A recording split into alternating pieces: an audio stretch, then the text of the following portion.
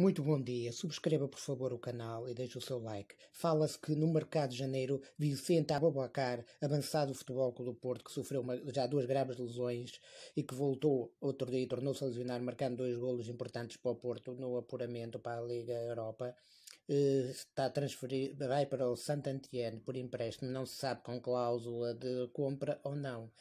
É, portanto, é uma forma de aliviar o, as despesas no Futebol do Porto. A Bobocar é um grande avançado, tem uma grande capacidade física, mas a lesão tem o limitado muito. Se for eh, por um bom preço, pode ser um excelente negócio, que o Porto tem muitos bons avançados neste momento. Se for a Bobocar, muitas felicidades na tua nova clube.